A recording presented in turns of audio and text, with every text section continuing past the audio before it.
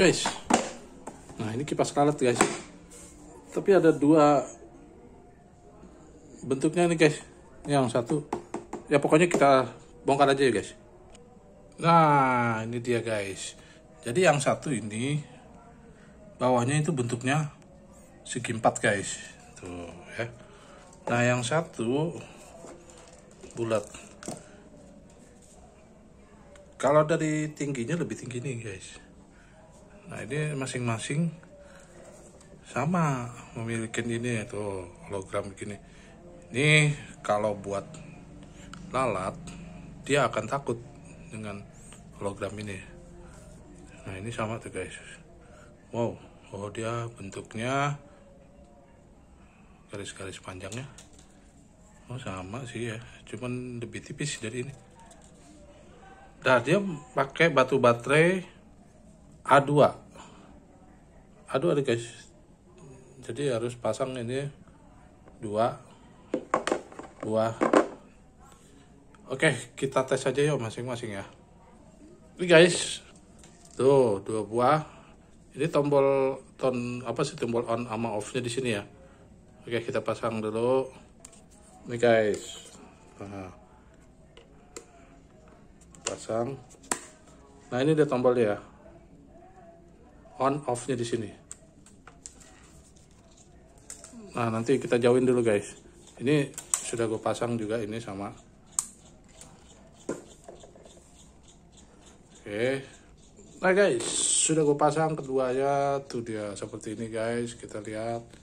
Jadi yang satu bentuknya bawahnya segi empat yang satu bulat. Nah, kalau untuk panjang nggak ada perbedaan sebenarnya. Ini karena ditebel di atas ya guys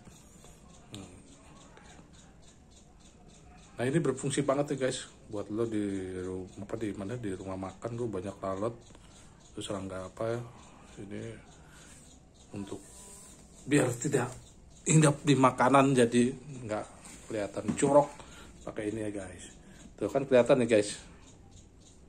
Hologramnya. Ini juga sama nih guys. Tuh kelihatan. Ya. Oke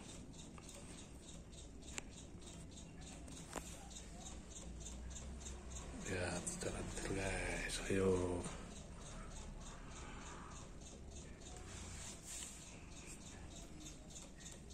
Nah ini di pasar online udah banyak guys produk ini ya.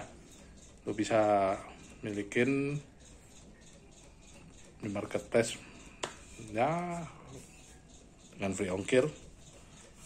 Atau ada cashback nah paling-palingnya sama kalau dia panjangnya ya. Nah untuk matiin cuman di sini lagi. Oke. Mau yang mana guys? Yang bulat atau yang kotak? Fungsi mah sama nggak ada bedanya. Hanya beda bentuk doang guys. Oke miliki produk ini guys. Ya kalau lo mau ini lihat di description gue ada linknya.